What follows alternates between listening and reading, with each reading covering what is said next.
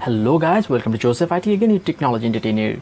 Today in this tutorial of Joseph IT, I'm going to show you how to add double or triple subtitle in KMPlayer videos easily. So first of all, as you can see, this is a KMPlayer, the latest version in my system and there are three subtitle files as you can see on the screen, Arabic, English and German of this video okay if you don't know how to download the subtitle files for, for a video then please simply check the video from the end screen and from the description too of mine on the channel. So first of all what i'm going to do i'm just going to simply play the file in it. And as you can see it, it is a video without any subtitle. It has no subtitle in it.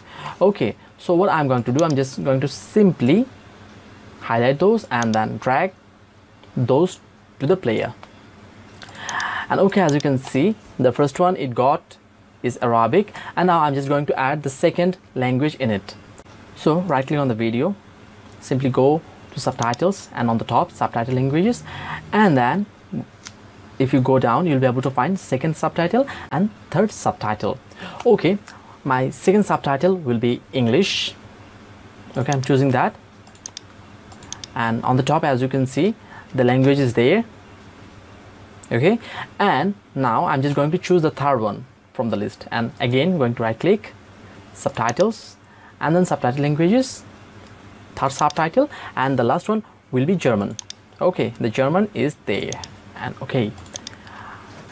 As you can see there are three subtitles. If I play it and show you some examples. As you can see there are three subtitles. English, German and then Arabic and by this way you can also choose the languages you want from the list one by one okay and that's the simple way of adding multiple subtitles in KMPlayer videos easily with this simple process and I hope you really found this video useful. If you really did so then please don't forget to like the video, share your experience on the comment box, your suggestions and subscribe to the channel of Joseph IT.